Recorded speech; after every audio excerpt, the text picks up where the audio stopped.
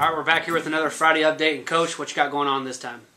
Well, we're going to do kind of the uh, baseball, Indiana baseball version of the View this week with our uh, esteemed panel of uh, former baseball players. I just thought with the timing, uh, spring training, and Major League Baseball kicking off, we thought that it would be, you know, people want insight to the program. We thought we would show them some of the former uh, former Hoosiers and kind of what's going on in their lives right now as they get ready to head on to spring training. So I'd like to welcome our uh, our panel, uh, former Hoosiers, always a Hoosier though. And I thought what we do is put them on the spot a little bit. So we've got Joey O'Gara. Uh, he was drafted by the Florida Marlins in 2009. Mike Early was is Chicago White Sox was on our team last year, 2010.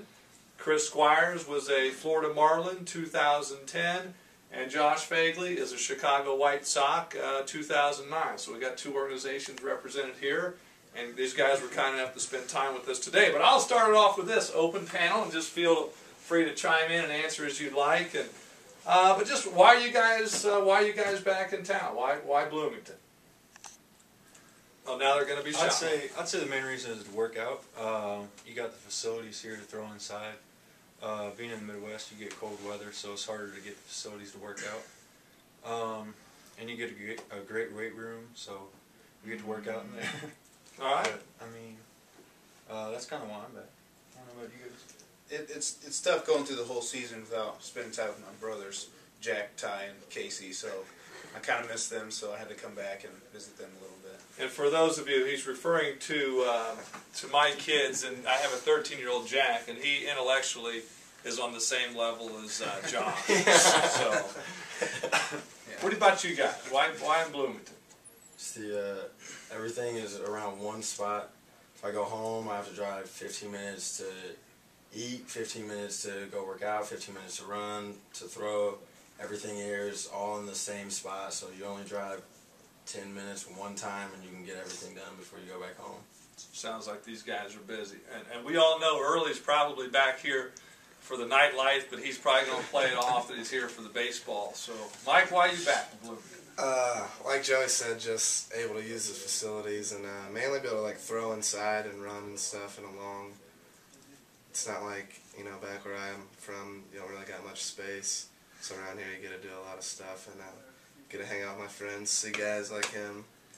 See Josh a little too much, but Yeah, so now where you guys are getting ready for pro ball? Where do, where where are the White Sox? Where are you guys training? Glendale, Arizona. So you get a little uh, Arizona time, and the Marlins are. Jupiter, Florida. Uh, that used to be the home of the Cincinnati Reds, didn't it? Or was, or was that my Uh, no, the Reds are in Sarasota. Sarasota. We share it with the Cardinals. Share with the Cardinals. All right. Um, well, just hey, we're, we're keeping it with the IU theme. Former IU guys. I'll ask each of uh, each of you individually. What give me like one of your most memorable moments, Joey, at, at Indiana University. Uh, through the university or at Oh, whatever. Athletic. I'm gonna leave it up to you.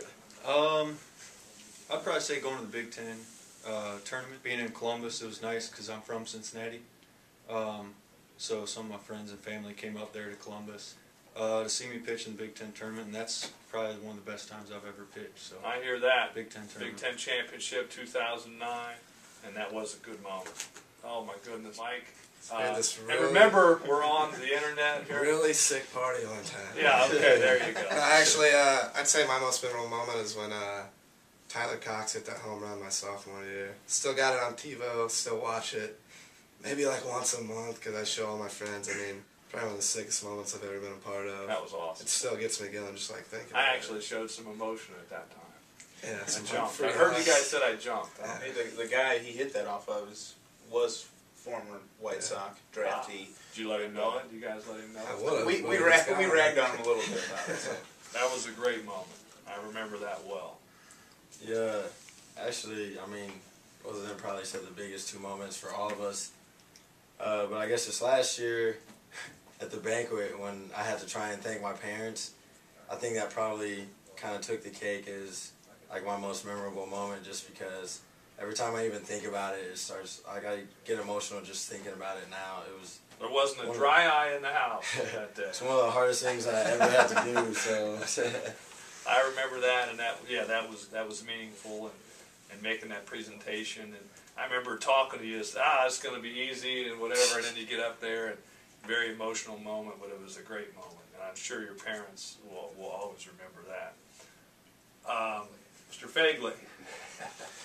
Well, I, I try to think back to my career here at IU, and I see I see a lot of a lot of running, a lot of lines on the football field, maybe some laps around the track, but uh, I'm definitely no stranger to Guitar Hero, and having that taken away freshman year, taking my Xbox over to your house, and uh, that was pretty embarrassing, but. Uh, uh, for you out there, off. because he played it so much, he was becoming so good at it, uh, taking time away from studies is probably what I would. yeah, So Right. yeah, he was a that supreme, was, that was your take supreme on it. guitar hero guy.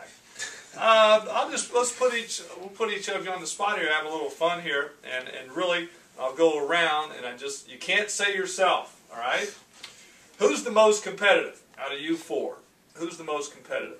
Early. Early, Squires. early. Squires. Oh, so we have a tie on most competitive. So we may have to have those guys. Who has? All right, here's a fun. Who has the biggest ego out of this group? Oh, that's an easy one for me. Squires. Q. Early. Squires. So there we go. Squires. a bit- Who works the hardest? Who works the hardest? We'll start on this end. Squires. Early. Q.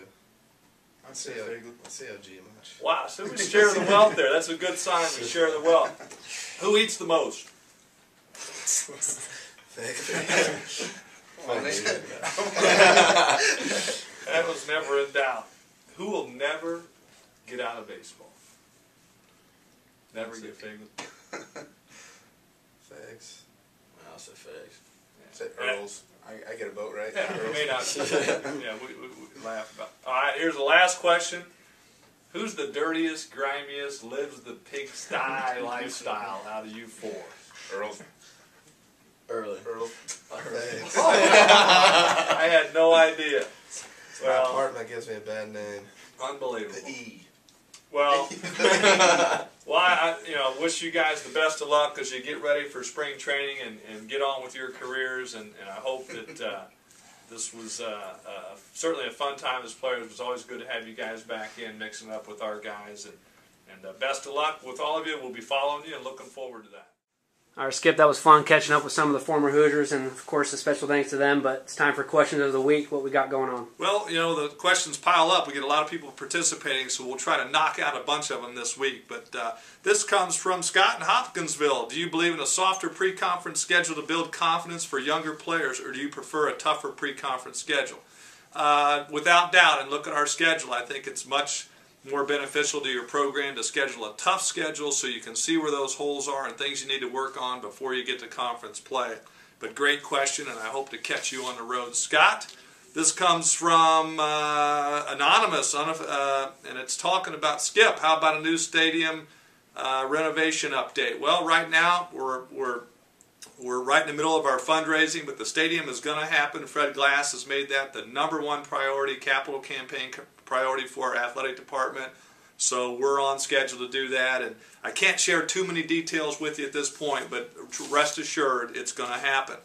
Uh, this comes from Debbie from Indianapolis. Looking at the upcoming schedule of games, I was wondering how the team goes to class, gets homework done, etc. during the baseball season, and do they have free time on the road? It's an interesting question because baseball plays a 56 game schedule in a relatively short amount of time. Truthfully, that's why I'm so proud of our guys when we're pulling, you know, three points and close to three point as a team GPA. But our guys study on the bus. They uh, take their stuff on the road. They do a lot of their testing and things like that before we uh, hit the road. So these guys have to be organized to get things done. And do they get free time on the road? Heck no. We lock them down because we're there to play baseball. But no, we, we, we have fun with. My favorite place from all of America do the ghostly playing. The guys will tell you about that sometime. This comes from Brian from Morocco. Uh, take me back to your Little League days. What coach had the most influence in your love of baseball? Can you tell us a little bit? Very good question. I had one of my favorite people of all time, a guy named Tater Blankenship. And Tater's no longer with us in, in uh, on this earth, but Tater's up there in the old baseball stadiums up in heaven, and just a tremendous guy. And uh, if this is the Brian I know that it is, uh, I think Brian, you played for him too, and know that he was just a remarkable guy, uh, dedicated to baseball, sound fundamentals, and just an all-around uh, great person, and uh, very, very missed. But uh, Tater passed a few years ago, actually, uh, when we were playing um, a, a couple games, and I remember getting that news, and very devastating. But um, awesome person. Uh, as a son of a barber, what do you think works best, Grecian formula or just for men? I always love the, the randomness of these questions. I don't know. I've not tried either one. Brian, I will leave that up to you. Maybe you can let me know. Uh, this comes from Justin from Middletown. Will the Woodbats ever return to college baseball? You know, honestly, I don't think so because the financial impact is so great. And we've had a lot of questions on the Woodbat. How do we think the new bats are going to play?